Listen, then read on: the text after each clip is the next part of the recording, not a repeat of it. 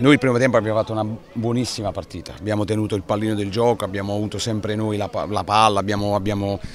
siamo stati bravi a gestirla, credo che è stato un primo tempo di alto livello. Poi nel secondo tempo un po' per la bravura giustamente anche dell'Ischia perché poi ci veniva a prendere con questi quattro attaccanti e noi abbiamo avuto un po' paura di giocare questa palla da dietro, incominciare a buttare questa palla avanti che noi quando buttiamo la palla avanti siamo un po' non, non, abbiamo fisicità, non, non, giochiamo mai sulle seconde palle, noi siamo abituati a giocare da dietro, a entrare con gli esterni dentro al campo come abbiamo fatto il primo tempo.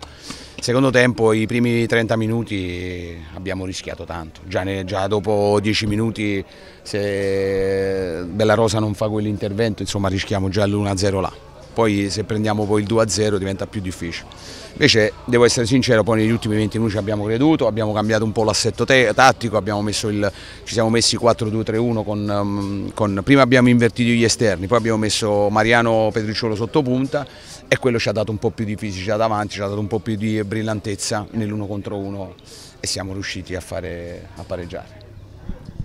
Era, la sua squadra ha rischiato di eh, passare in svantaggio due volte, quindi di, di subire il 2-0, poi siete riusciti a pareggiarla. Nel finale ci avete messo anche forse un po' più di impegno dal punto di vista agonistico.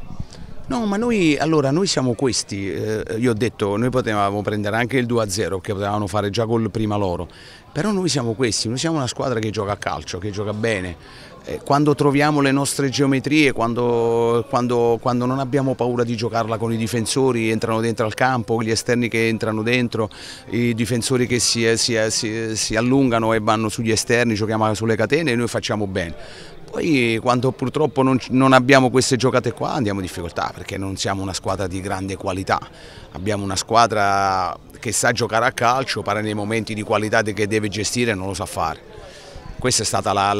i 20-25 minuti del secondo tempo quando il Forio ci ha messo in difficoltà. La riporto al suo illustre passato in giallo-blu. Ora l'Ischia da neopromossa sta facendo un campionato importante in piena zona playoff. Cosa ne pensa? No, io l'ho vista due volte giocare quest'anno e mi ha fatto una grandissima impressione. Faccio i complimenti a Enrico Buonocore, gliel'ho fatte anche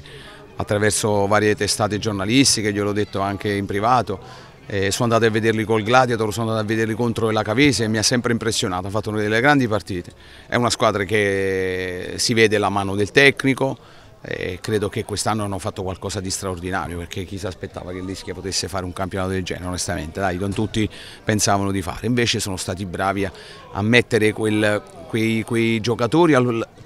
quei due o tre giocatori che forse eh, hanno alzato un po' il tasso tecnico ma poi sono rimasti con gli stessi quasi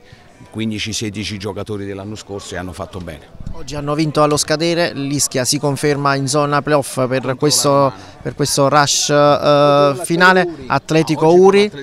E, so, che consiglio vuole dare lei all'intera piazza giallo-blu? Allora io intanto gli faccio i complimenti, intanto gli dico che io sono fatto due anni qua, sono stato benissimo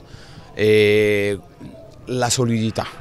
il, il, il, un futuro roseo, un futuro importante, cioè non, non, sempre avere, sai, non so se mi iscrivo, non so se faccio una squadra buona,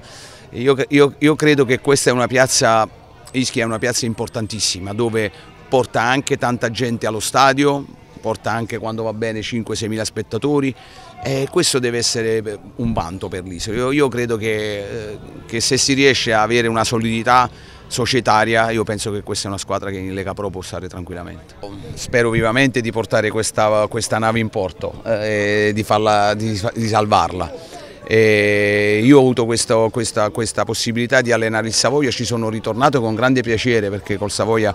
ho un rapporto un po' con la tifoseria particolare, nel senso che quando sono stato in Serie D abbiamo fatto un grande campionato, siamo arrivati in semifinale playoff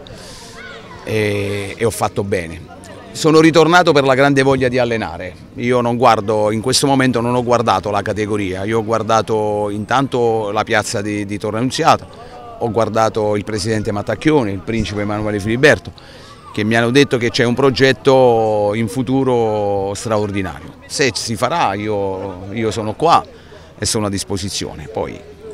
i matrimoni si fanno sempre in due, è normale, no? io adesso sto bene, sto in una grande società, una società che non mi fa mancare niente, sono un, un, gruppo di ragazzi eccezionali perché da quando sono arrivato mi hanno seguito con grande, con grande passione, si sono calati subito nella, nel, nel, nel mio credo e l'abbiamo dimostrato in queste sette partite facendo dei grandi risultati.